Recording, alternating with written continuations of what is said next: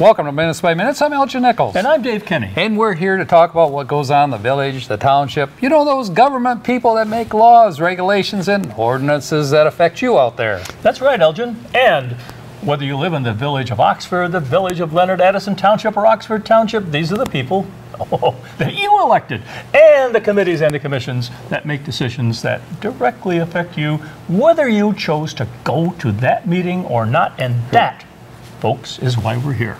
Plus, one of us spreads rumors. And the other one confirms them. Yeah, we do.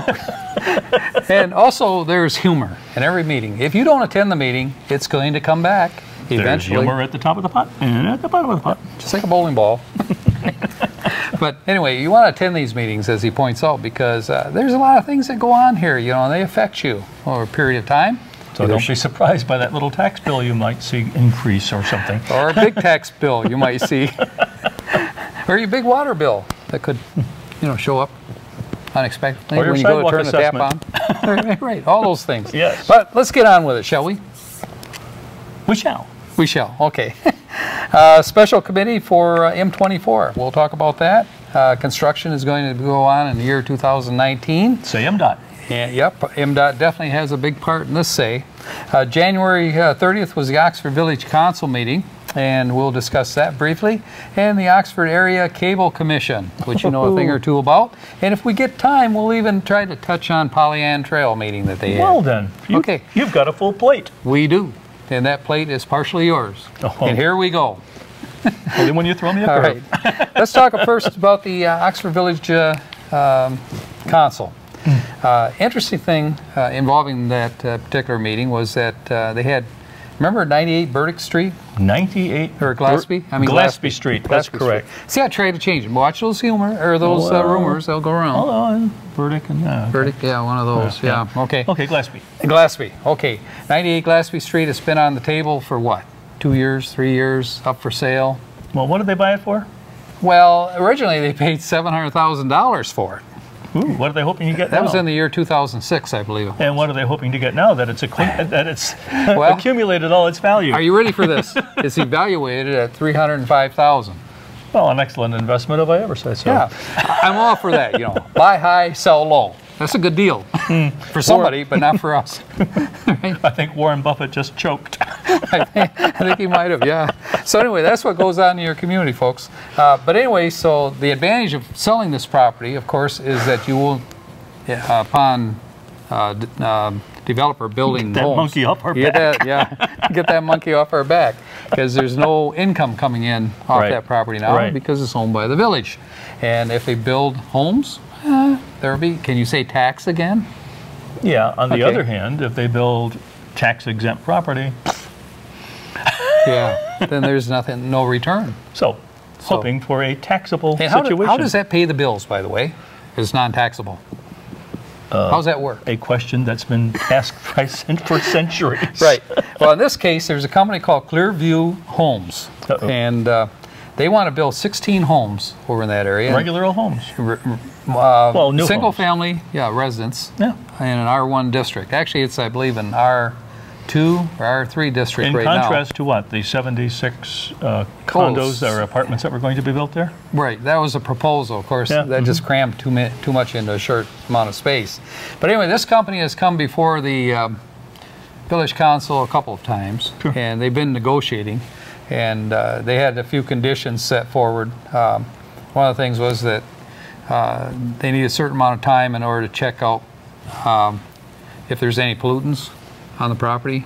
I think the village invested some funding into going to say, that researching by, by that. now they should know that. yeah, they did research that, and uh, the final um, arrangement with this company uh, was to have it received as is property.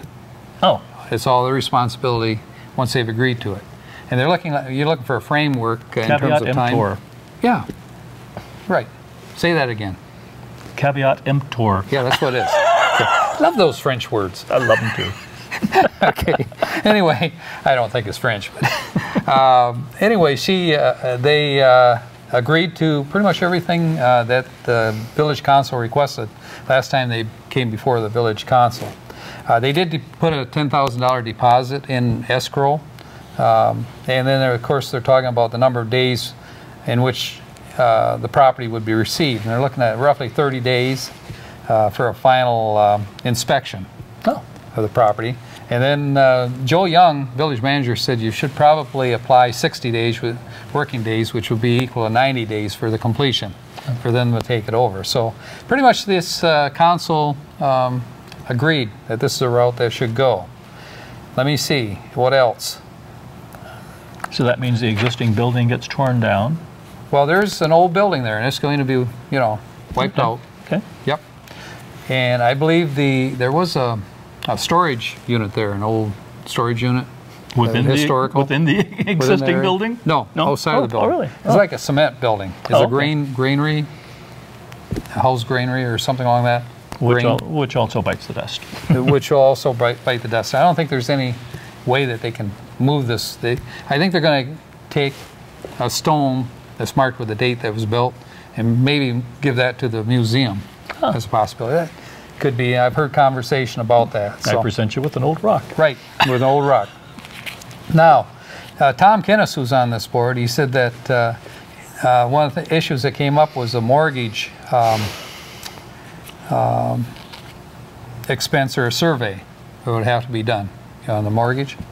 And uh, I think it's going to be like $200 or so. And he said that he wasn't for paying that. Well, uh, immediately out jumped Eric Dolan. He said, look, this has been going on for a long time. He said, let's settle it. We're just talking a small amount of money here. Let's go forward with it. You know, charge. He's leading the charge. Uh, You can hear the trumpet playing, and yeah, that would be him. They're running around. Yeah, okay. Anyhow, That amount's just an entry fee into the race. right, just into the race. So anyway, so they they went forward with it and they approved it. All right.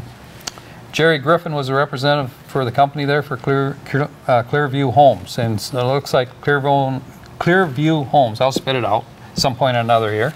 Uh, we'll go forward with this. All right. There will be involved, of course, Nowak and Fraus, which is the engineers from the village, and also McKenna and Associates will be involved as Those planners, as yeah. they go on as planners. So those are pretty much uh, formalities, and that took care of that. That was a quick session. Um, Next. Yeah, and I think Sue Bossardet uh, ran this meeting, and she did a good job in, in keeping it moving along. Good. So Sometimes this meetings, one didn't run till midnight. sometimes meetings sort of spread out and yeah. disappear into the fog, but Sue keeps them on target. Right. well, when you see uh, people sitting on the console board and they slither away after two or three hours, you, know that's a bad meeting. I don't know if they slither away or just collapse. Yeah, or there there were uh, there was a packed house of people, you know, that came originally. Now you ha- you're looking at one. so how long was that meeting anyhow? Uh, it was rather short. I think Oh, it was good. like about an hour long. Oh, that's good. Yep, that's normally what they run, an hour and a half. Special uh, committee meeting also was uh, held, and that was through the um, resources of the DDA, Downtown Development Authority. Uh, Joe Frost, of course, led this, but he's going to be leaving, and so, and as a matter of fact, he's gone as we, as we're Even here as we speak. as we speak. Not really gone though, because he lives in Oxford, in the village. so he m- made it very clear that he would be working with the DDA and probably involved in some of the other meetings, you know, they have in the village. so he could provide a good segue to whoever takes over next. He did, and he could, and, he will. will. With that, we'll be back right after this, folks. we will. Welcome to American Legion in Oxford for the best fish on Fridays. That's right, from noon to 8.30. You can get the best walleye in Michigan. You can get walleye, baked cod, chicken strips, baked potatoes, and more. On the hall side of the Legion, oh, hello there, friends. You can have 12 friends on a table, any one of the best military museums in Michigan. And the dining side, oh, hello again. More comfortable with many four-seat tables and a couple of five-seaters. Now on Friday we have usually have about four to 500 of best friends for our fish. Carry out? You bet. We have 50 to 60 carryouts at the post. We have some young fins with the birthdays and some of our best seniors at the post. Oh yeah, waitresses, they go like a track waitress to get your food. If you have never enjoyed our secrets famous walleye at the Legion, come on in every Friday from noon to 8.30 at the American Legion Post 108 on 130 East Drahner Road, Oxford. Welcome back to Minutes by Minutes. I'm Elgin Nichols. And I'm Dave Kenny. and we are talking about the M24 construction special committee. MDOT. MDOT. Right, and it was formed by the Downtown Development Authority to get things moving in terms of plans and that kind of thing, because the year is 2019 when the proposed. The only thing they can't do up. is move the buildings aside. No, they're pretty much stuck with those. Now they dig a tunnel underneath the town. Ah, maybe not. No, that might not work. Okay. So anyway, uh, Joe Frost, as I pointed out earlier, will be leaving, and he appointed uh, a new chairman of this particular group, Ed Hunwick, who's not new to it. He's been Oh. on the DDA for some time.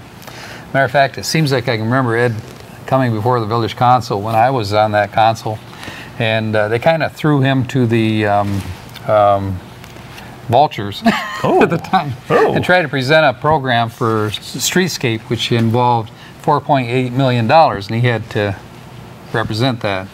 And uh, that didn't run fairly well at that time because they had no money.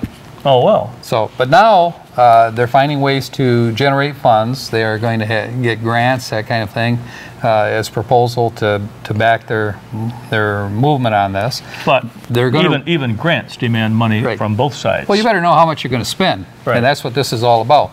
And and in order to know what you're going to spend, you got to know what you're going to do with streetscape. And this whole project evolves around the streetscape, and also encompasses while the main street is torn up, how do you support the businesses in town? And it's not just the street. They're probably going to go after the infrastructure too, the sewers and water mains. Well, there's water uh, main and uh, sewer line that runs Yeah. down the street, which I believe is put in at the turn of the century. So that, of course, is we don't want to end up with a situation like they have in other Just hope they don't give that to the museum. yeah. right, exactly. Uh, take a note on that, will you? oh, no. Okay, okay.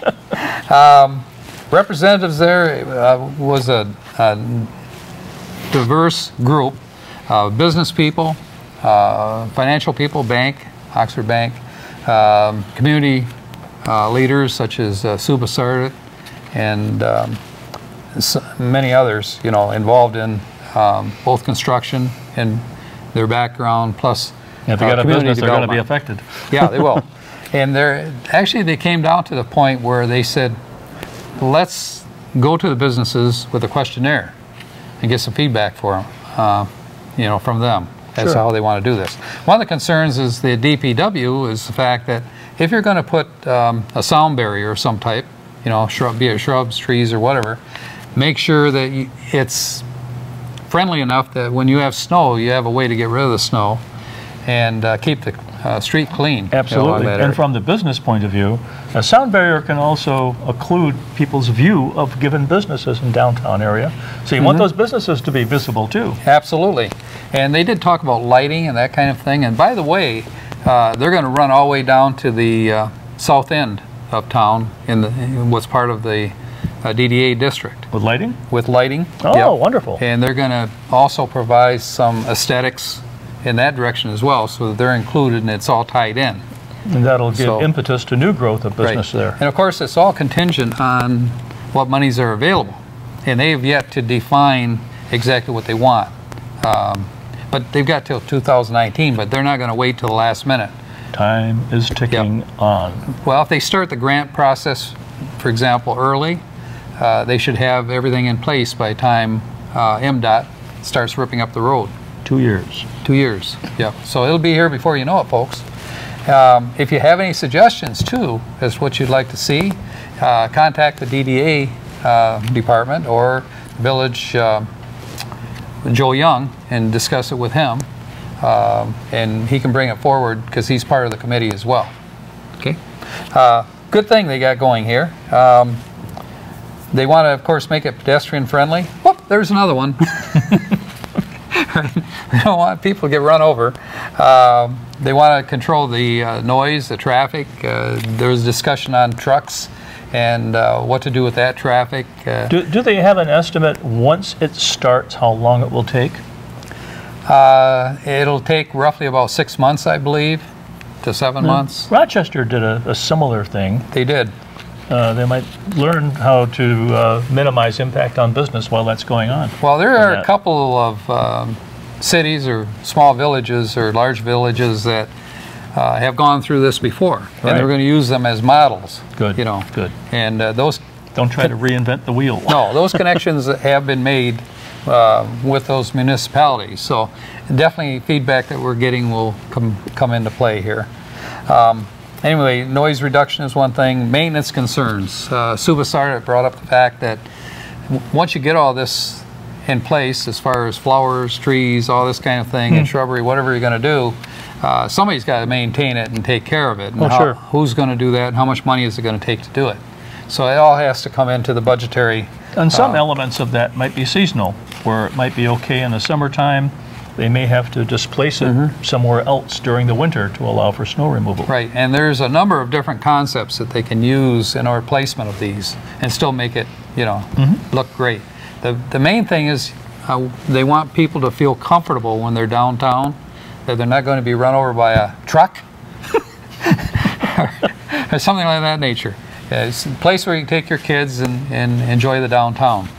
A lot of great shopping down there, and the emphasis will be, of course, on marketing um, for those particular businesses during this phase, as Right. well as directing traffic signs and those kind of things. So there's a lot of things that come into play here, and uh, I think it's good that they put this committee together, don't you? It'll be exciting times. It will be an exciting time. Now let's talk about the Oxford uh, Area Cable Commission, shall we? Okie dokie. Okay. and that meeting was held on January 23rd, and uh, of course went through the preliminaries, uh, Pledge of Allegiance, and read the minutes, of course, for uh, December. Uh, bills initially were $28,401.33. right. And there were two sets of bills, one for 2016 and one for 2017. And what was the one for 2017? Off the top of my head, $6,679.24. you had a crib. right, it's right there. Okay, so anyway, so that he's right. There was two uh, expense uh, reports. Uh, year-to-date expense account was reviewed uh, quickly. No problems, issues there. Invoice uh, distribution report was also handled, and, and uh, no problem there. Went on to the next item, which uh, employee handbook. Does anybody know where the handbook went? Does anybody know? Did it ever return? No, it never, Never returned.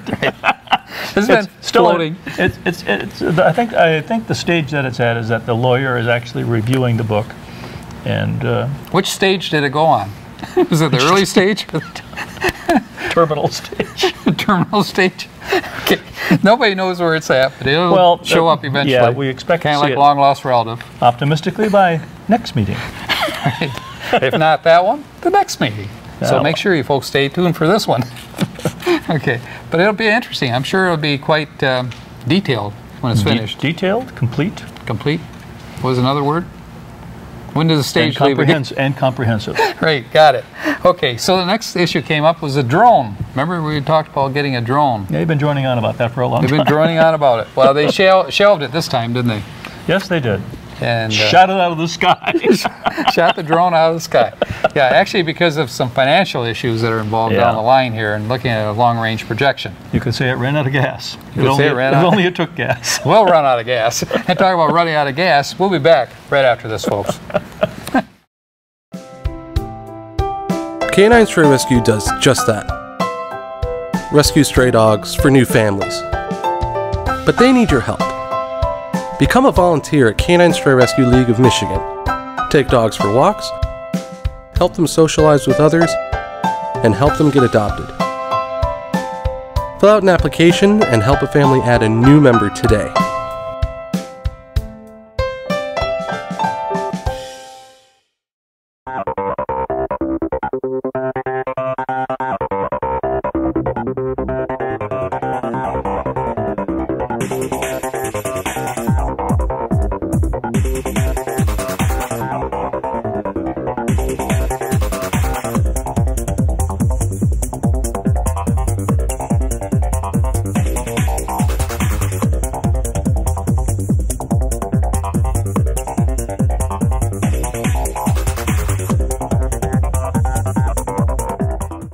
Welcome back, Minutes by Minutes. I'm Elgin Nichols. And I'm Dave Kenny. And we are talking about the uh, Cable Commission meeting that they had. Yep.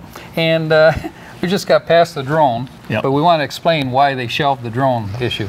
Well, we're going to experience some uh, shortfall in revenue. How short? Well, AT&T, which is currently a substantial provider of uh, funds for the uh, OACCC, is converting from UVerse to Dish. UVerse, being a cable uh, system, uh, provides a certain amount of revenue per customer, and Dish is a satellite system which provides nothing. How did that happen? you don't know. okay. But it's going to be a, a ongoing process, and we'll see a ongoing decrease in revenue relative to the AT&T uh, portion of it coming from the Right. Oxford Township, Addison Township, Leonard, and and, and uh, Oxford Village. Well, I think it's a, a good good thing that this uh, board did what they did. You know, with the that particular expense at this time. We might need the money. You never Yeah, know, yeah, right? Bank it now. Right. now, the other thing that they wanted to talk about is appointment of officials. Um, they appointed Bill Dunn as the secretary. that was kind of funny. I found that humorous, didn't you? Bill had lots of questions about what he was required to do as a secretary. No, he's not bringing coffee, he said. There was no instructions, but someone did hand him a pen. they did, yeah. so anyway, he accepted it graciously. I know. And- Bill is quite capable. Sue Bossardet was reappointed as the chair. Yep. And uh, let me see, vice chair was uh, Charlene Southerby And the treasurer Leonard. was and Lori treasurer Fisher is Lori Fisher. from Addison Township. Yeah, no real big surprises there other than Bill Dunn. Right. I'm a what? All right, Bill. I'm a what? You guys did this to me. okay. And of course, Ed Hunwick serves on this board, and he became the official worker bee. yes. Shows you what happens when you don't show up at that. right, that's what happens when you don't show up. Okay, so Ed, he'll accept it with a smile, I guess, and Yeah. take on the heavy load that he's going to get. I think the first thing is going to get thrown at him is the um, employee handbook. Oh. Uh, Ed, can you find it? And they had of it back. committees too. yes, they did. You tell me more. No, but you're going to. You're going to force me to. Yes. Okay, there's a tech committee and Lori Fisher, so that she would take that on. All right. And what does the tech committee do? Well, uh, in terms of long-term planning for refreshing equipment and what have you, and the tech, and looking at new technologies that might affect us, yeah. Okay, so Of course, we will act as advisors to them, especially you, because you're a tech. You're Yeah. a real techie. you really think so, huh? Yes, I do. Okay, real good. Then there's the facilities uh, committee. That would be Sue Bossardet and Bill Dunn. right. Train that. And what what do they do? They hunt for property. they facilitate the, the ongoing search for What's the property. T-shirt? What what does facilitate mean? It means to facilitate something. anyway, that's the way it, used to do it They're in school, right? facilitating our facility. Okay, got it. Okay, uh, manager's report from Bill Dunn was given, and let me see. And he wanted to point out that AT and T is The quickly manager report from who? Bill or uh, Bill Dunn, Bill Service. Our service manager. No. We're going to give Bill Dunn another job here if he's not careful. you notice how you slip him right into that? yeah. Okay, that's a rumor, by the way. That's a pretty strong rumor, though. Mm, I got to well. tell you, right? Mm. Maybe not. I think Bill Service would complain about that one. I do believe. okay, but anyway, so uh, he was he explained what the situation with ATT was. AT and T, of course, will be leaving eventually, uh, and a little more rapidly than what he anticipated. Yeah. Uh, we did put a projection Of course, of three of course years, not but all AT&T customers might choose to go to Dish. Some might Right. go to Charter, which might preserve some portion of that income Mm-hmm. stream. Right. Now, a good thing, he did talk about Connie's Kitchen, which is, you know, just been syndicated to five different locations. I know, I know. So that's, a very great successful move. program. Congratulations, Connie. You betcha. Yep. And let me see, that pretty much took care of that. Now, let's hit on very quickly, but this is a Polly Ann Trail. And I want to say one thing that the Polly Ann Trail um, director or um, manager um, that handles the trails, the Yep. trail manager, Linda Moran. Moran. Linda Moran does a terrific job out there. I got to tell you, uh, she presented a program before this board in which she cited that she needed tools because when she took over the job, the tool crib was completely either empty or it had equipment that didn't operate, and so she asked for um, a new trimmers, hedge trimmers, and she also asked for um, gloves and a wheelbarrow and other things to, to make the job, you know, feasible. Uh, she requested roughly a total of about uh, $1,660 to do this, and they had the money and the funding, so went ahead and approved it. It's a good Good. thing. Um, Then Linda went on further to say that there's an event happening on June 11th at 8 a.m. to 1 p.m. and it's uh, a Run Michigan Cheap is what it's called. a uh, five, uh, 10k. What was that last five- word? It's cheap. Cheap? cheap, cheap, cheap. I see. and it's it's actually handled by a company called Frank Race Management, and uh, they have two programs, 10 5K runs, and one is June 11th at 8 a.m. uh, and ends at 1 p.m. It starts at the Orion Township Parks. Where does the cheap part come in? It's really inexpensive, and Oh, if you have okay. any wind left in you after 10 miles, And your sneakers still have any treads left on them? right, and, right. And they're also going to have another one September 9th. Uh, you're probably wondering what this money is going to be raised for. Better be raised for goats. Goats. Yeah, they're going to eat up all the stuff. I heard something interesting about those goats. What did you hear? Not only will they trim the grass, but they're impervious to poison ivy and poison sumac. They are. And they have a goat that actually, when he's on his two hind legs, can reach about six feet high. So watch out for those low-hanging trees. Ooh. anyway, so uh, I want to say that uh, Lena Moran is really pro goats. He said, "Who does?" She says, "Who doesn't love baby goats?" and not only that, when they're out there doing their job, they are restrained by a solar powered electric fence. Solar-powered electric fence. Where did you hear that? That was a rumor. Okay, that's one of many. Just have to pay close attention here, folks. So we don't want the goats wandering off. No, really. Chewing up someone's daisies. You just actually you just get some poison ivy and wave it in front of them. They'll come. come Oh, that's true. You just love it. then you're going, ah. right. Okay. Uh, so anyway, so that's what she was talking about. Now they did uh, provide uh, elected people for this board. Mike McDonald, who heads it up, was reappointed again. He "Gee, humbly accepts again."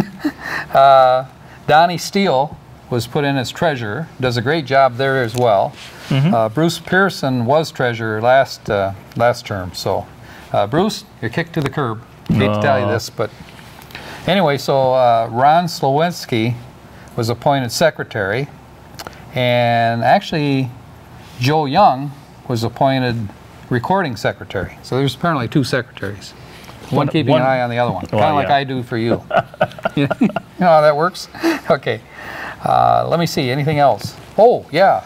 Uh, there's been some cuttings that they did along Polly Ann Trail, and they're a mess. So they're going to hire uh, a gentleman who's agreed to come in and clean it all up for a mere amount of $5,000 to do it. How long is the Polly Ann Trail, anyhow? Oh, it's, It's- for miles and miles and miles. It's all over. Lots of miles. Is that metric or? Could be metric. Tell me more. What's going on? Well, we do have meetings. Lots of meetings, as a matter of fact. On 2 7 at 7 p.m., the Village of Oxford Planning Commission. Hmm. And on that same day at 6.30, the Oxford Board of Education is meeting over at Oxford High School for School of Choice. So I might want to attend that one. Mm-hmm. Uh, on 2 8 at 7 o'clock, the Oxford Township Board of Trustees, your favorite, you're on it. Yes. And on 2 9 at 6 o'clock, the Oxford or Addison Township z- z- uh, Spit it out. ZBA. ZBA. Might check on that one because ZBAs sometimes get canceled. A lot of times, actually. Um, uh, at 7 o'clock that same day, Oxford Township Planning Commission. And on 213 at 7 o'clock, the Village of Leonard Council. And it's also at 7 o'clock, the Oxford Township ZBA. Same warning, could be canceled, you never know. Uh, and at 6 o'clock, at Addison Township Board of Trustees. Lots going on, Oxford Township and Addison Township. Pick a meeting. Yep. this is Minutes by Minute. And you What? are. And I was going to ask who you are. I'm Dave Kenny. and I'm Elgin Nichols. Catch you next time right here.